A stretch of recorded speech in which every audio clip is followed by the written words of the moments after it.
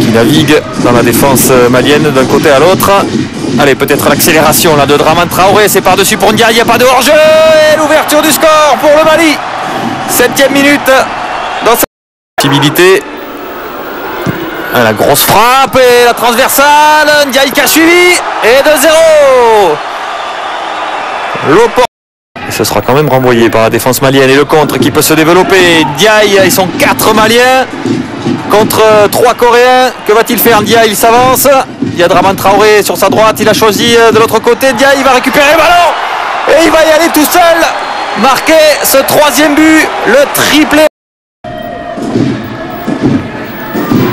Ah, on va voir s'ils ont des ressources. En tout cas, ils sont nombreux aux avant-postes. Kim dans la surface. Ah, le centre, deuxième poteau, et voilà Là voilà la réduction du Bon, on avait deux Choi et trois Kim, on va se retrouver avec l'inverse. Ça va pas nous changer beaucoup. Et voilà Oh le deuxième but Tout le monde a été surpris. Choi. Choi encore qui est passé. Oh là là, incroyable Incroyable coup de tête de Tamboura dans la lucarne de son propre gardien. Que c'est